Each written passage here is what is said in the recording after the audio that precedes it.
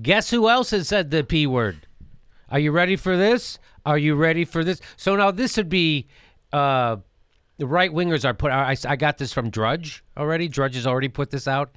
Uh, here is a, a they go. Oh, guess Barack Obama. Had, watch this. So here's Barack Obama, and a little bit different context. Yeah, another guy said, but I tell you what, you won't see me moving to no African jungle anytime soon. Or some goddamn desert somewhere sitting on on a carpet with a bunch of Arabs. No, sir. And you, you won't see me stop eating no ribs either. Gotta have them ribs. And pussy too. Don't Malcolm talk about no pussy? Now you know that ain't gonna work. There you go. Barack Obama said it. Same thing. that's how it was. That's how it was sent out. Same look, Barack Obama.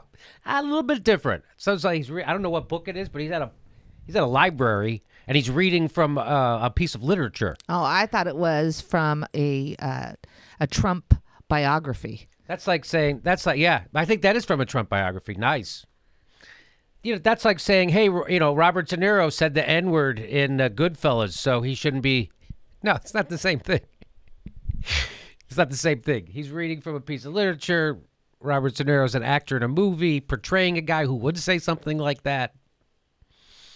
So he's reading from a thing of a guy who would say something like that. There you go. But that so there you go, bud. And it's just surprising. And it's surprising how quick they must have this stuff ready. Right? Like Drudge has all these videos ready. You got get the Obama pussy video.